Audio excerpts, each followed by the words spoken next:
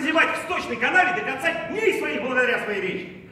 А я мог бы э, через три месяца занятий с ней речью, если у нее хорошее ухо, вывести ее в свет, и она сошла бы там за герцогиню.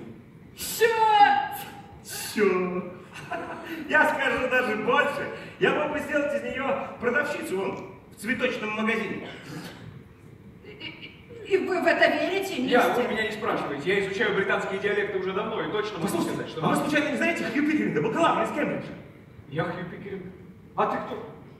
А я Генри Хиггинс, автор универсального словаря Тот самый Ген... Я ездил в Оксфорд, но тебя там не А я как раз хотел поехать к тебе. Какая потрясающая встреча. Где ты остановился? Я в Карлтоне. Нет.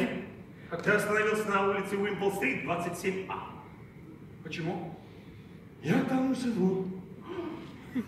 Пойдем ко мне и, и задержки купим. Подождите, подождите, подождите, подождите! Купите цветочек у бедной девушки.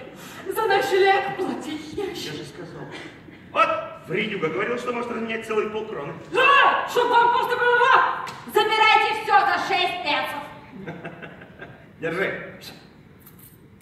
Пойдем. Благодарю, благодарю.